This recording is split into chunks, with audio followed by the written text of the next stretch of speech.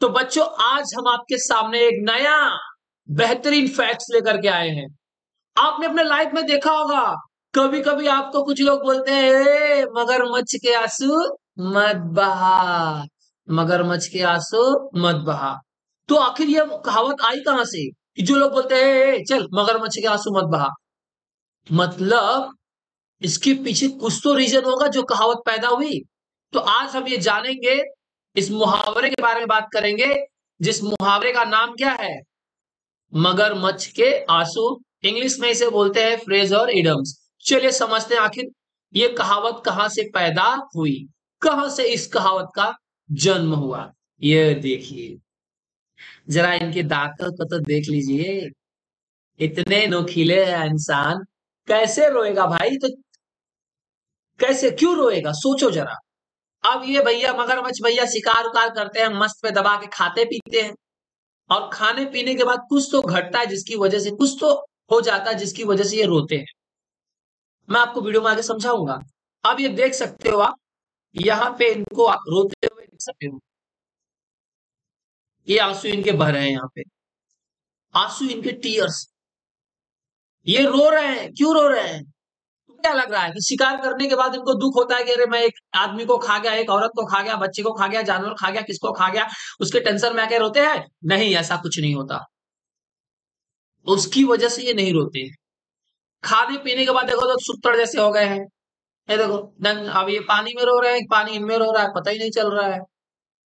चलिए, आखिर समझते हैं कि होता क्या है। अब यहाँ पे ध्यान दीजिएगा अच्छे से। अब जहाँ तक बात मगरमच्छ के आंसुओं की है तो साल 2006 में न्यूरोलॉजिस्ट डी मेलकॉम सर और जूलॉजिस्ट कैंट ए विल ने क्या किया? एक अमेरिकन घड़ियालों पर एक रिसर्च की। यह इंडियन पे नहीं, जो अमेरिकन घड़ियाल है, उन पे क्या किया गया बच्चों? रिसर्च किया गया। उन्होंने अमेरिकन घड़ियाल को पानी से दूर सूखी जगह पर खाना दिया तो उनकी आँखों से खाते समय आँसू निकलने लगे। वाह। उनको बाहर दिया गया भोजन, जहाँ पे पानी थोड़ा भी नहीं था। और वो खाना खा रहे थे और उनकी आँखों से क्या निकलने लगा? आँसू। तुमको लगा होगा, अरे यार, सोच रहा होगा मैं किसी को खा रहा हूँ, उसके दुख में रो रहा होगा। नहीं। अमेरिकन घड़ियालों के आँखों से बुलबुले और आँसू की धार निकलने लगी। बाय, बायोसाइंस में इस स्टडी को रिज़ल्ट बताते हुए कहा गया कि मगरमच्छ वाकई खाते हुए आँखों से आँसू बहाते हैं, जो किसी भी भावना की वजह से नहीं होता। है और जब वो खाते हुए रोते हैं तो उसमें कोई भावना नहीं है कि मैं एक छोटे से बच्चे को खा रहा हूँ तो रो रहा है, मगरमच्छ। ऐसा कुछ भी नहीं है। तब क्या है ऐसा? देखिए, यहाँ पर आपके सामने आंसर खाना खाने पर टीयर ग्लैंड में खिंचाव होता। जब वो खाना खाते हैं ना तो जो उनका टीयर ग्लैंड होता है, उसमें क्या आता है? थोड़ा सा खिंचाव आता है। जैसे मैं ऐसे ऐसे कर रहा हूँ ना, मेरे बहुत सारी मांसपेशियाँ काम कर रही है नहीं कर रही है? जब मैं खाना खाऊँगा तो ये पूरा देखो, पूरा दांत काम कर रहा है, पूरी मांसपेशियाँ काम कर रही है तो उनके टीयर ग्लैंड में क्या होता है? खिंचाव होता है। इसलिए आँसू निकलते हैं। और फिर क्या होने लगता है वो? आँसू निकलना शुरू हो जाता है।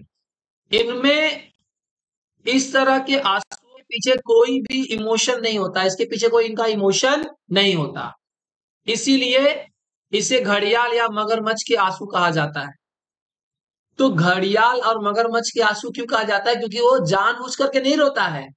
वो बाय डिफ़ॉल्ट रो रहा है। जब वो खाना खा रहा है तो क्या हो रहा है? उसका टीयर ग्लैंड क्या हो रहा है? खींच रहा है। और वहाँ से क्या निकल रहे हैं? आँसू निकल रहे हैं।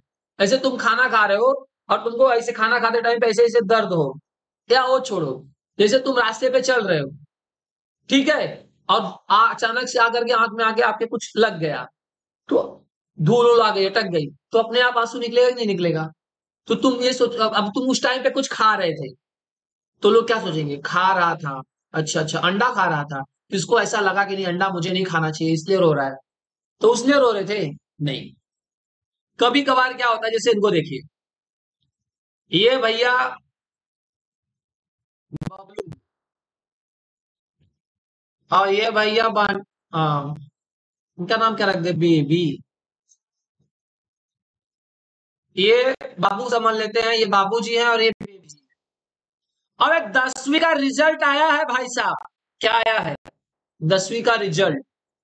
इनको मिला 45 परसेंट और इनको मिला 92 परसेंट।